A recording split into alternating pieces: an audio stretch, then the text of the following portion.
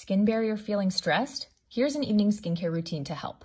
Step one, gently wash your face. I've really been enjoying Cetaphil's new hydrating foaming cream cleanser. This nourishing cream to foam cleanser is so satisfying to use and is clinically proven to remove pore clogging dirt, oil, and makeup without drying the skin barrier.